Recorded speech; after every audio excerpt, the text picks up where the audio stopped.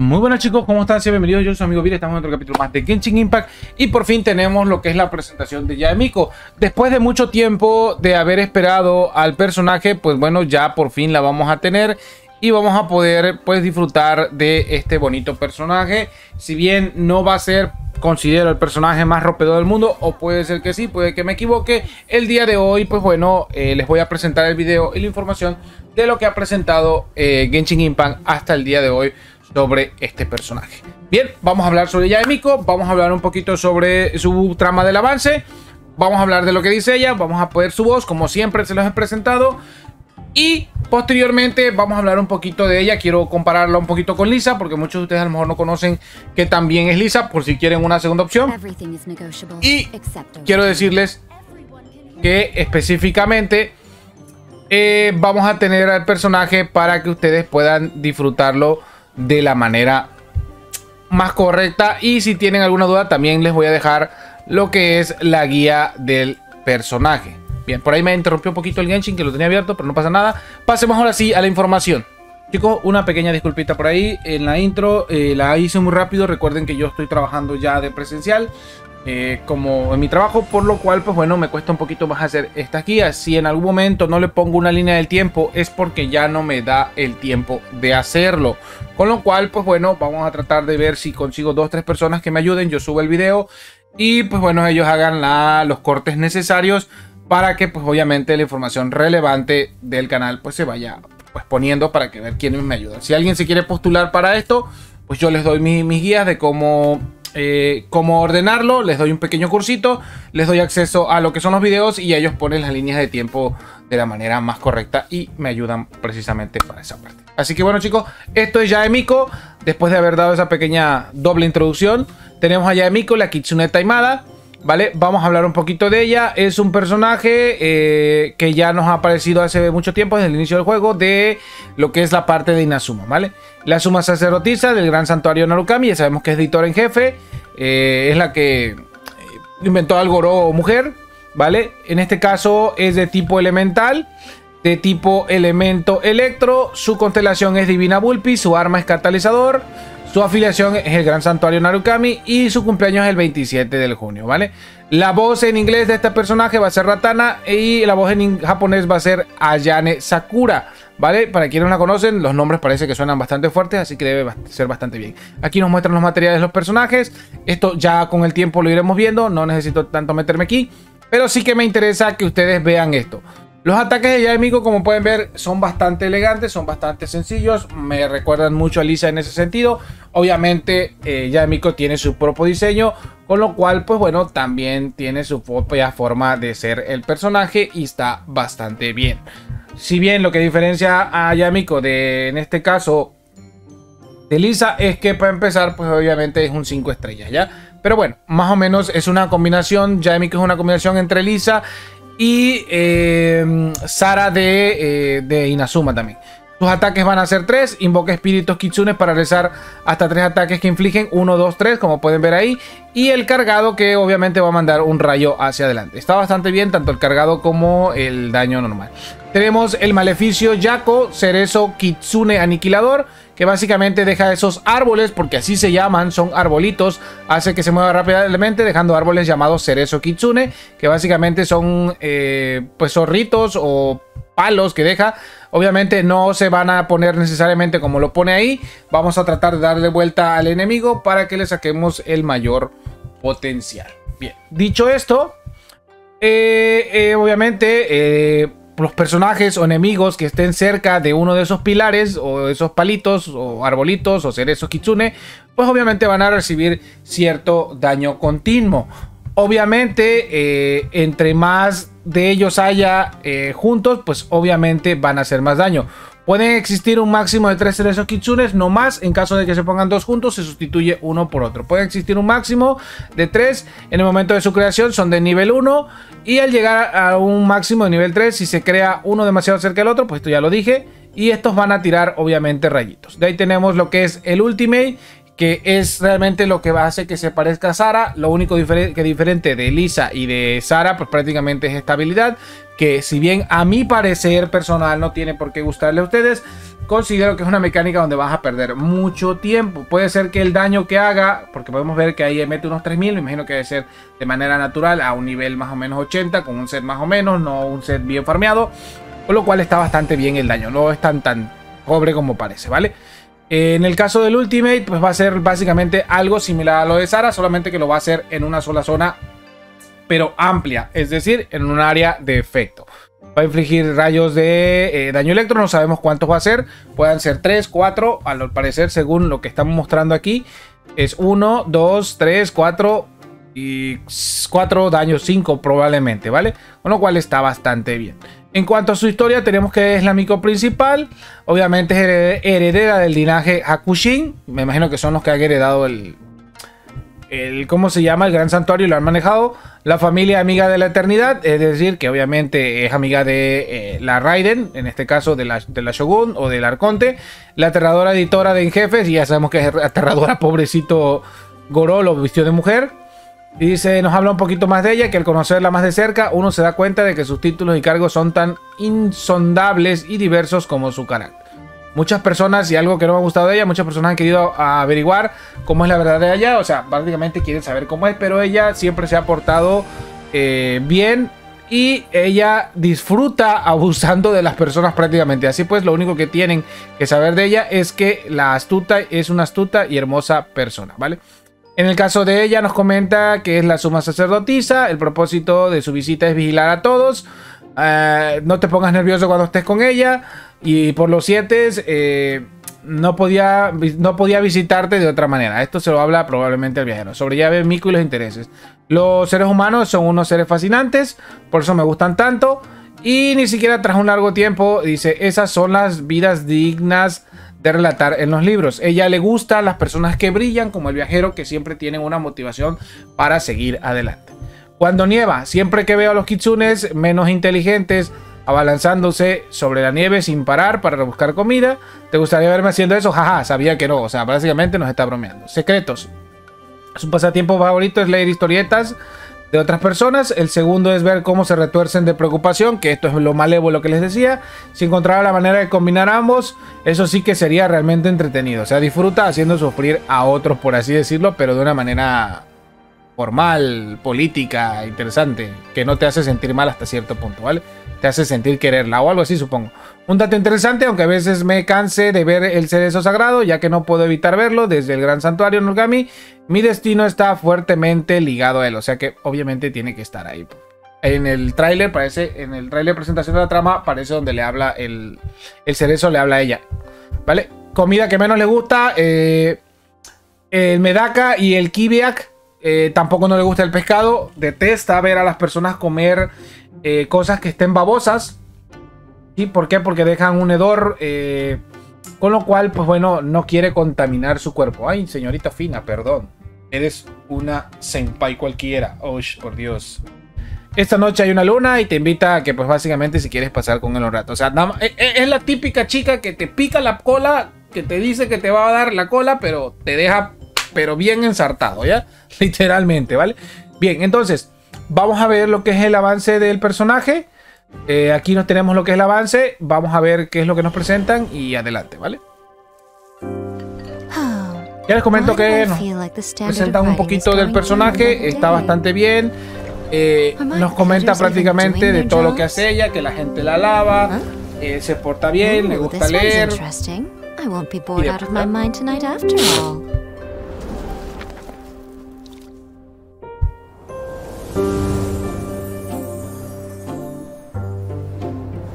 Le gustan las novelas ligeras y el chaki, ¿vale? Le gusta comer también. Es muy fina la tipa, al parecer. Eso sí, tiene unos semblantes y una forma de, de, ser muy rara. De hecho, la pintaron muy diferente a como se va a ver en el juego, ¿vale? The kushikatsu are freshly made and the taste is quite to my liking. I'll take a few boxes worth to go, please.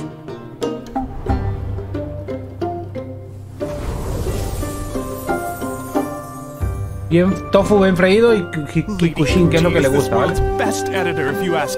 Aquí donde le empiezan a lavar. Truth be told, Yaemiko is an outstanding shrine maiden. Hey, she's that fox lady I ate ramen with that time. Él dice que es la, la chica zorro más brillante, más genial, bla bla bla. Y aquí viene la parte que realmente me interesa. A few hundred years on,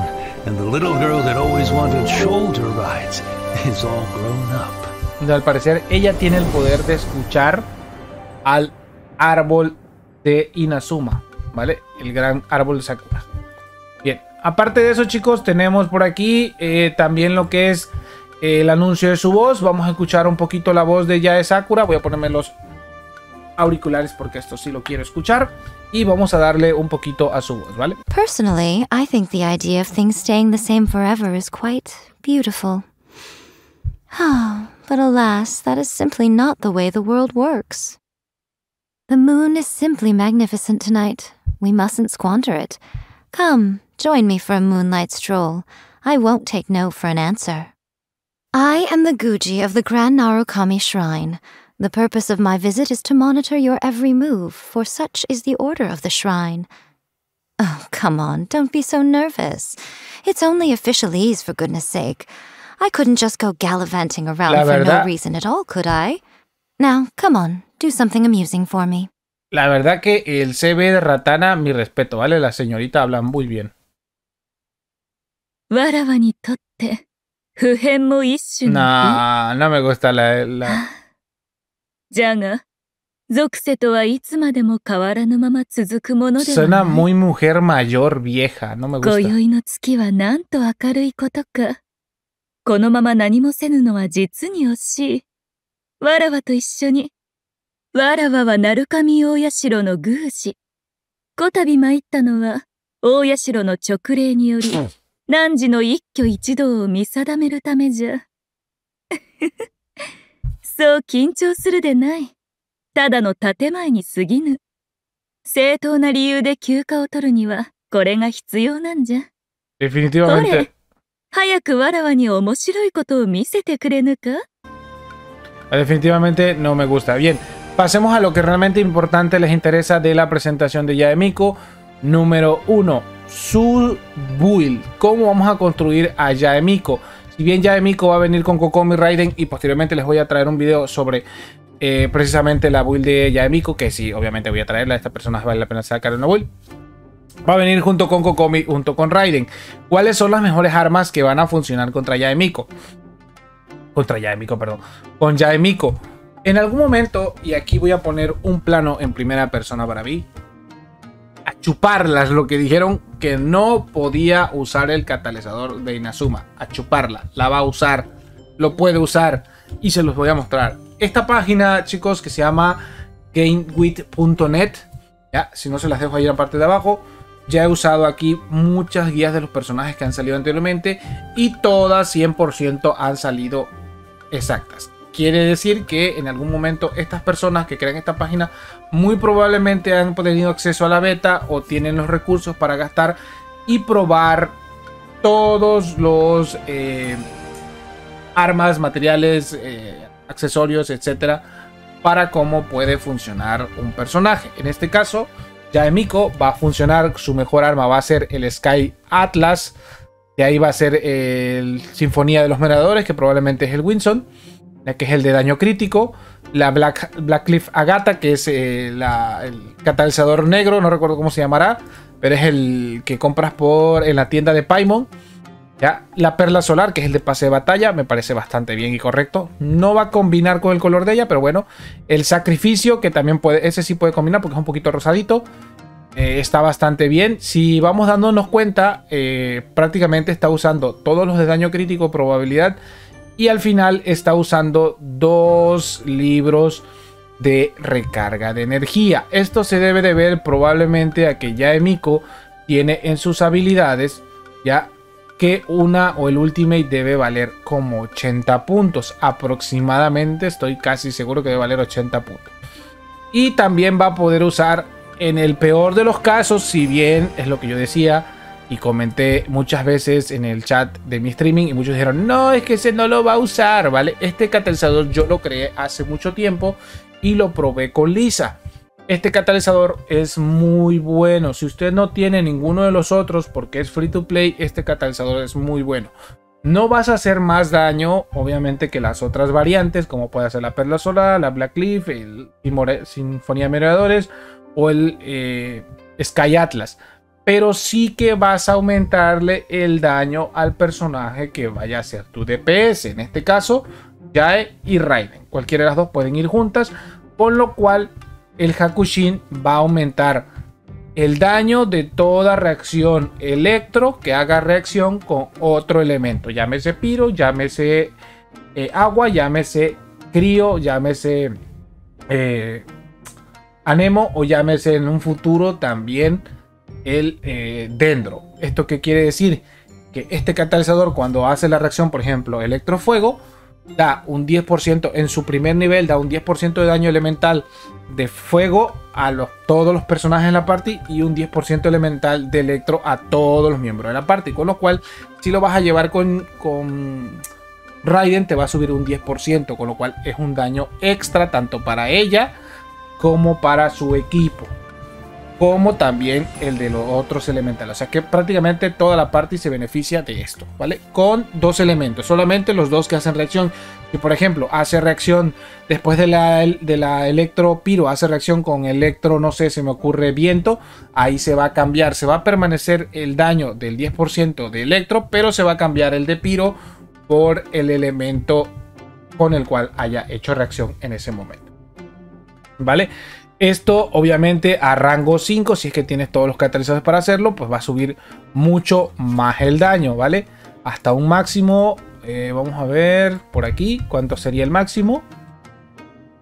Máximo, máximo, no me aparece. ¿No aparece? No, no aparece chicos, no aparece el máximo aquí, qué raro, debería aparecer, pero bueno.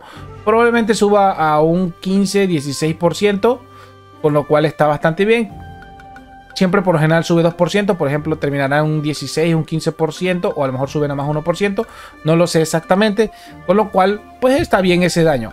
¿Qué artefactos va a llevar Yae? Chicos, artefactos que va a llevar Yae. Si la vamos a llevar en un equipo completamente con doble electro, ya lo mejor sería llevarlo con el set de Furia del Trueno o Thunder Flurry que es el de dominio que está en la parte de arriba de Mondstadt. Es el más alejado y que ya casi todo el mundo tiene olvidado, precisamente porque no hay mucho personaje electro que aproveche el set al 100%. Como sustituto, podemos usar, si no tenemos buenas piezas del, Furia del Trueno, podemos usar dos del set de Furia del Trueno y dos de Nobleza. Esto para potenciar el daño de la Ultimate.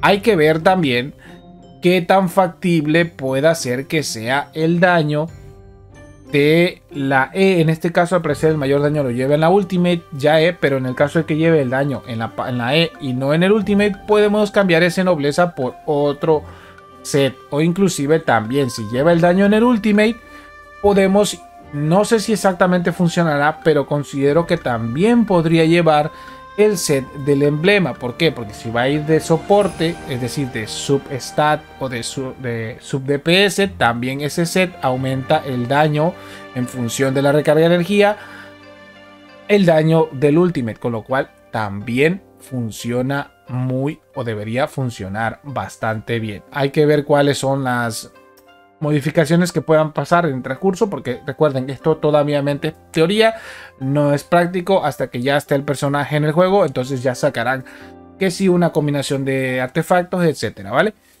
Pero lo que sí queda claro es que el personaje puede ir tanto DPS como sub DPS.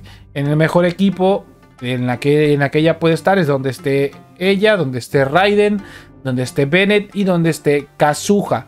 Y en el caso de que lo quieras jugar free to play, puedes usar el Traveler Electro, puedes usar a Yaemiko, puedes usar a Kaella y a Bárbara. No entiendo muy bien la combinación de Kaella con Bárbara porque baja resistencia física y, aquí tienes dos electros. ¿Para qué quieres bajar la resistencia física? No le hallo sentido, pero bueno. Aquí en vez de Kaella podríamos poner a otro personaje que bajara, por ejemplo, en vez de Kaella podríamos poner a alguien que bajara eh, una Nemo como Sacarosa que bajara la resistencia electro para aumentar el daño electro. Quiero pensar que ponen eh, a Kaella y a Bárbara por la doble reacción, es decir, electro con agua y electro con hielo, con lo cual vas a mantener constantemente electrocutado a los personajes y constantemente congelados, con lo cual, pues bueno, está bastante bien la idea, pero habría que ver qué tan rentable el daño puede llegar a ser. Y bien chicos, eso ha sido por ahorita todo de Yaemiko. Espero les haya gustado esta guía, espero les haya servido. Si tienen alguna duda, comentario, sugerencia de la presentación de Yaemiko, pues bueno, lo platicamos en el próximo stream donde nos veamos. La presentación de Yaemiko, la Kitsune Taimada. Yo soy Vir, me despido, no sin antes decirles a que lo de sorpresa. Échenle muchas ganas y en el próximo video hablaremos sobre quién es mejor y por qué tirarle a Yae, por qué tirarle a Raiden y o por qué tirarle a Kokomi. Yo soy Vir, me despido y nos vemos hasta la próxima. Bye.